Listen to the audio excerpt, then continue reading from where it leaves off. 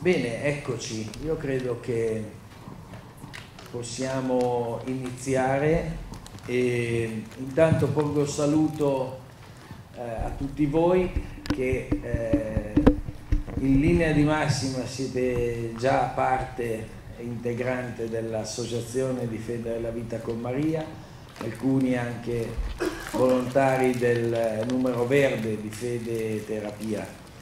Eh, io non mi eh, dilungo su nulla, ma eh, procedo speditamente eh, per cercare di eh, rendere efficace questa, questa, mattinata che però purtroppo parte con 30 eh, minuti di, di ritardo. Quindi eh, intanto benvenuti alla seconda parte del convegno pastorale sul progetto Fede Terapia nel nome del Padre per una rinnovata accoglienza della vita umana.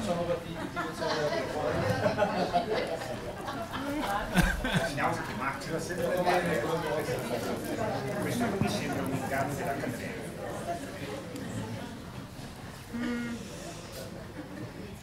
Bene, eh, iniziamo subito con il eh, saluto eh, che ci porta il signor Mirko Ferrari, che prego di venire qua, a nome del Presidente del Forum delle Associazioni Familiari del Piemonte, anche membro del Consiglio nazionale del Forum delle Associazioni Familiari.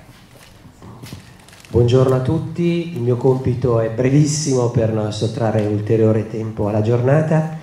Vi porto i saluti del dottor Fabio Gallo, gentilissimi, purtroppo domani per improrogabili impegni non potrò essere presente al convegno, ma mi rappresenterà l'amico Mirko Ferrari. Cordialmente a presto, dottor Fabio Gallo. Io rubo veramente due parole per spiegare meglio qual è il compito del Forum Nazionale delle Associazioni Familiari.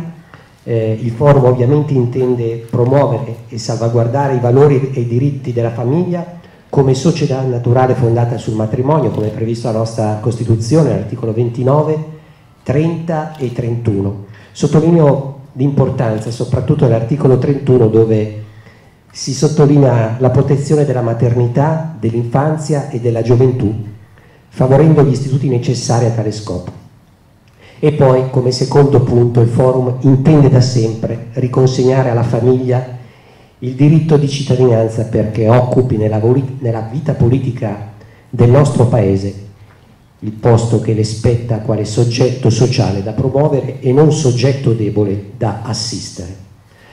Ehm, chiaramente il forum ha una rappresentanza pie piemontese, il forum delle associazioni familiari del Piemonte, che ha la presidenza in Fabio Gallo, nato nel 1997 il Forum delle Associazioni Familiari Piemonte è attualmente composto da 17 associazioni. Ha un duplice obiettivo il Forum, quello di sollecitare una legislazione anche regionale di promozione e salvaguardia della famiglia ai diversi livelli in cui si articola l'ordinamento giuridico amministrativo, promuovere nelle famiglie stesse la consapevolezza della loro funzione sociale e politica, favorendo l'associazionismo al di là di ogni individualismo. Da qui vorremmo partire per la costituzione di un forum territoriale che possa monitorare con costanza l'attività anche della, della politica nel nostro, nel nostro, territorio, nella nostra città e nella nostra provincia. Credo che nei prossimi mesi ci saranno novità su questo. Detto questo io vi saluto, vi auguro una buona giornata, ringrazio i relatori e buon lavoro a tutti.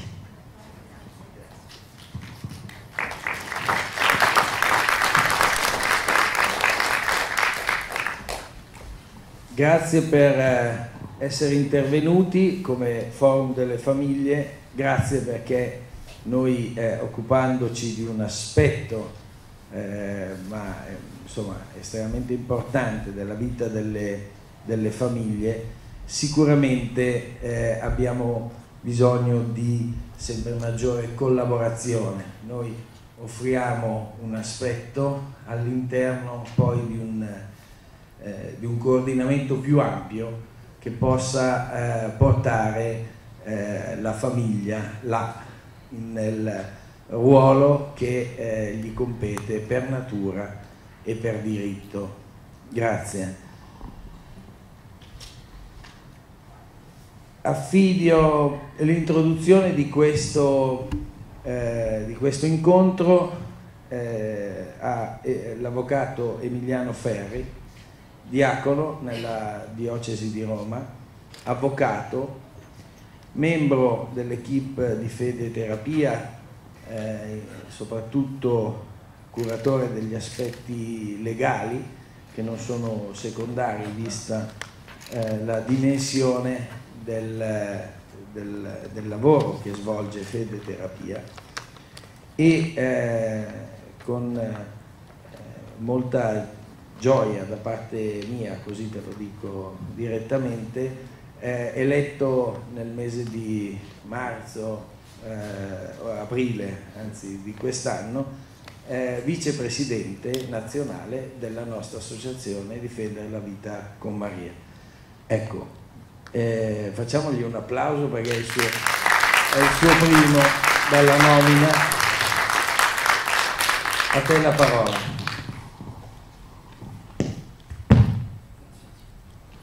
Grazie Alberto e buongiorno a tutti, grazie a tutti. Sì, Don Maurizio, perdonate, un po' leggerò e un po' vi guarderò, un po' l'emozione, poi sono molto prolisso, chi mi conosce lo sa, quindi rischiavamo di fare domani mattina soltanto con me.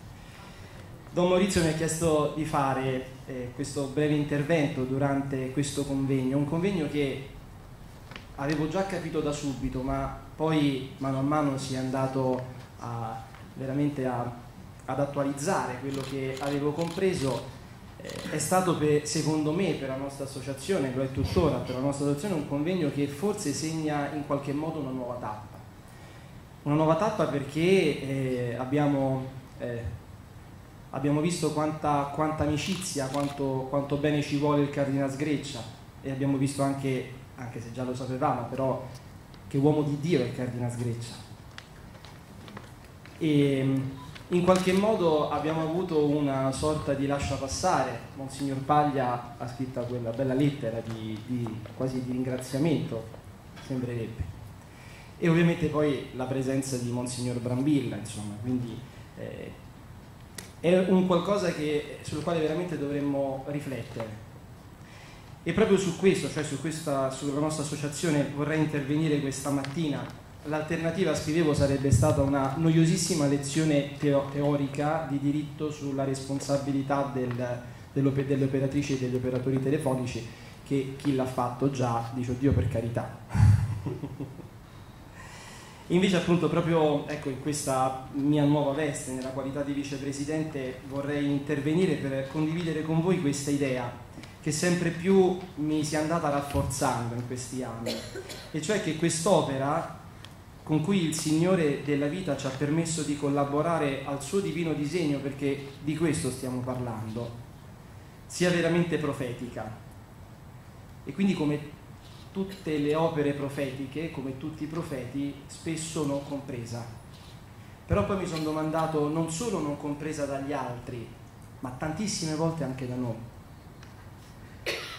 Questo perché a volte ci sembra di lottare contro i mulini a vento, diciamo a noi stessi o tra di noi anche, non ho più ricevuto telefonate, ma quella telefonata lì non è che è andata proprio così tanto bene, forse la risposta che abbiamo dato è una risposta non consona, forse tardiva, fino ad arrivare veramente a dirci forse dovremmo fare altro, chi ha famiglia, chi ha figli, chi lavora. E allora appunto è la paura di non star facendo la cosa giusta. Sappiamo tuttavia molto bene, sorelle e fratelli in Cristo, da chi viene la paura. Il serpente antico le prova tutte per farci fallire, perché sa che anche solo stando noi lì ad aspettare, l'aver dato la nostra disponibilità anche solo per un'ora a settimana ad una probabile persona che forse chiamerà perché cerca consolazione, cerca un buon samaritano che possa lenire le ferite. Ecco, anche semplicemente nell'accoglierlo con l'ascolto, eh sì, questo è il nostro fiat. Certo ci sono sempre delle cose da migliorare, grazie a Dio che se no ci monterebbe anche velocemente la testa, ma mai, mai dobbiamo pensare che il nostro servizio sia vano o sia nullo. mi riferisco soprattutto alle operatrici del numero verde. Veramente possiamo dire con Madre Teresa, se non puoi sfamare cento bisognosi, sicuramente ne puoi sfamare uno. Ecco, provate a parafrasarlo con quanto facciamo al numero verde.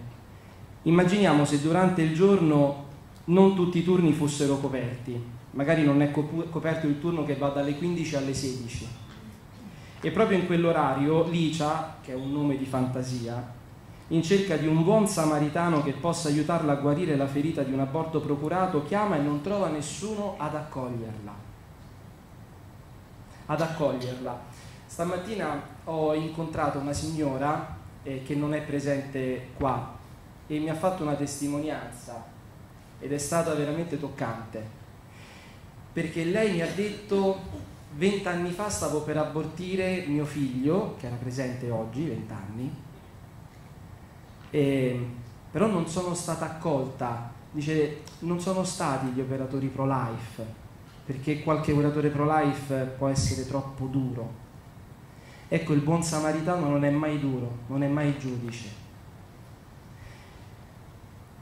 Ecco, ricordiamoci, senza montarci la testa, che siamo tutti servi inutili, nel senso però vero del termine. Ossia serviamo con tutte le capacità che il Signore ci ha donato, ma senza aspettarci mai nulla in cambio. Confidiamo sempre in Gesù e mettiamoci con umiltà, perseveranza e pace nel cuore al servizio che ci ha voluto affidare. Certo, probabilmente ci vorrebbe più condivisione non solo tra noi volontari, ma anche con le commissioni locali che colgo per la prima volta l'occasione di salutare nelle persone dei loro responsabili qui presenti. Anche come commissioni locali abbiamo il compito di supportare questo numero verde. Seguendo più o meno da vicino il lavoro di Don Maurizio da quasi cinque anni, che non sono tantissimi, mi rendo conto c'è gente che lo segue da vent'anni, quindi eh, mi sono reso conto che la nostra associazione ha ben tre carismi. La preghiera universale per la vita, la degna sepoltura dei bimbi non nati e l'accompagnamento post-aborto col numero verde fede terapia. Sono tre chiamate cui dobbiamo e probabilmente vogliamo anche dare risposta in modo unitario, tutti insieme, partendo soprattutto dalla preghiera, perché come dice il salmista, se il Signore non costruisce la casa, in vano, vi faticano i costruttori. E il Signore costruisce quando lo mettiamo al centro della nostra vita, ma insieme come comunità, perché Gesù ci chiama a collaborare nel suo progetto, ma non come singoli, mai come singoli, sempre come comunità, come famiglia. E da sempre ci ha, chiamati a collaborare nella sua misericordia. Il seppellimento dei bimbi non nati. Il seppellimento è la settima opera di misericordia corporale, che ha in realtà in sé già un'altra opera di misericordia spirituale, quella di consolare gli afflitti. Quante mamme, Ricordo due anni fa col direttore generale dell'ospedale di Albano, io sono di Roma, dei Castelli Romani, e lui mi disse avvocato con me sfonda una porta aperta dice ma non la vedo dal punto di vista confessionale spirituale teologico religioso la vedo proprio dal punto di vista oserei quasi dire clinico il fatto che una mamma a distanza di tanti anni possa sapere che esiste un luogo dove poter andare a piangere suo figlio anche se lì non è sepolto però è una grande opera chiaramente vi diceva terapeutica. Attraverso questo gesto avviene la pacificazione tra cielo e terra. Sabato scorso abbiamo celebrato al cimitero Laurentino la messa annuale che svolgiamo oramai dal 2013 a Roma. E eh, ecco, mi è venuto questo, questo pensiero, questa preghiera l'ho definita attiva di pacificazione eh, Don Franz, celebrato, Don Franz è un parroco che ci ha ospitato e ci ospita a Frascati e veramente lo Spirito Santo lavora anche nelle nostre incomprensioni, è stato veramente un grande insegnamento, perché lui mi fa, Emiliano, per cosa dobbiamo pagare oltre che per i bimbi non nati? E io ho detto, beh, per i loro genitori. Sapete cosa ha fatto lui? Ha pregato per i bimbi non nati e per i genitori morti di questi bimbi non nati. Dice perché magari stanno in purgatorio aspettano le nostre preghiere per poter riabbracciare i loro figli in paradiso. La misericordia nella preghiera universale per la vita. Il nostro è sempre stato e, continuerà ad essere un atteggiamento sì fermo, ma mai accusatorio, Ecco, stamattina ho ringraziato questa mamma perché ha confermato quello che avevo pensato. Proprio perché è fondato sulla preghiera, certi che con la pace nel cuore, con la propria testimonianza, proprio la preghiera è l'arma vincente che Dio ci ha consegnato. E ancora il numero verde, i cui volontari mai sono giudici, ma samaritani che accolgono con l'amore di chi conosce quel dolore perché, come dice l'Apostolo delle Genti, dove ha abbondato il peccato, ha sovrabbondato la grazia. E allora mi avvio alla conclusione di questo breve eh, di, discorso ringraziando il Signore per l'opera compiuta in Don Maurizio, per avermi e averci chiamato a compiere la sua opera di misericordia in questa famiglia e per averci donato la Beata e Sempre Vergine Maria, Madre, che lasciatemelo dire guida, guida da sempre quest'opera. E allora a lei dobbiamo guardare, a lei dobbiamo somigliare come servi del Signore. E quando ci sentiamo delusi, non compresi, arrabbiati, soli, beh, insomma chi mi conosce lo sa, allora diciamoci Ave Maria e coraggio.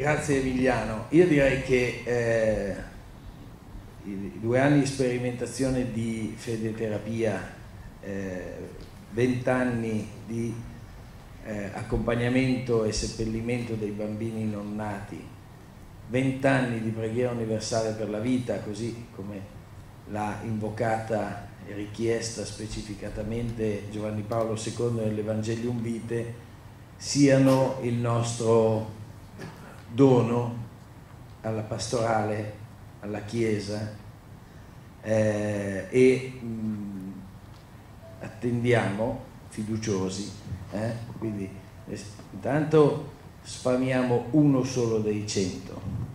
Mm? Se la Chiesa accoglierà nell'ambito della sua capacità mm, di, e, e, la sua anche capacità organizzativa, oltre che la, la sua diciamo, la sua prerogativa, eh, l'accoglierà questo, questo, dono, allora potrà, potremo arrivare ai 100, certo, non arriveremo a tutti, eh, neanche la Chiesa può questo, perché c'è sempre il libero arbitrio, però almeno arriveremo a, tanti. È la speranza che nutriamo eh, da questo convegno eh, in avanti. Grazie Emiliano.